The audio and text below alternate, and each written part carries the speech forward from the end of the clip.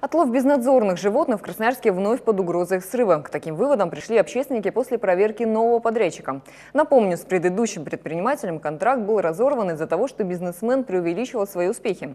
Почему общественники уверены, что ситуация с потасовкой цифр может повториться? Репортаж с нового пункта передержки Анастасии Цыганковой. Вы мне Я вам хотите говорю, навязать. вы будете это делать. Хотите вы этого или нет. Мы будем делать так, как положено. Вот вы будете делать так, как положено, как написано в регламенте. Споры активистов и нового подрядчика по отлову безнадзорных животных доходят чуть ли не до взаимного отправления друг друга в суд. Представители благотворительного фонда «Белка и стрелка» всего несколько дней как приступили к своим обязанностям и к пристальным проверкам общественников и администрации оказались не готовы ни морально, ни документально. Подрядчик ни в какую не согласился показать реестры медицинского осмотра животных. У меня все заключения есть.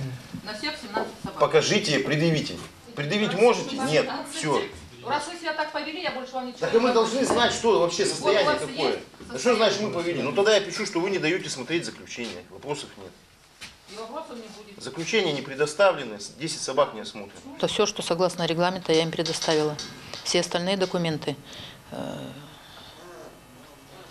в таком тоне, как они со мной разговаривали, они не обязаны смотреть. Обиды подрядчика ревизоров не убедили. Они уверены, документы не предоставляют просто потому, что их нет. Смутили общественников и пойманные животные. В клетках сидят безобидные ручные собаки или вовсе щенки. Заявка была судостроительной на агрессивного кобеля. Мы его, я вчера говорю, давайте я вам покажу, кого отловить. Ваши работники а, ручного щенка втроем, хоп, и смылись. Собака дво- два месяца, два месяца, два щенка. Это отдельный адрес. Отдельный адрес.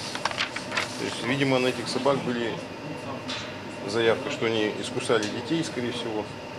Отобрали у пенсии, пенсию у старушки, наверное.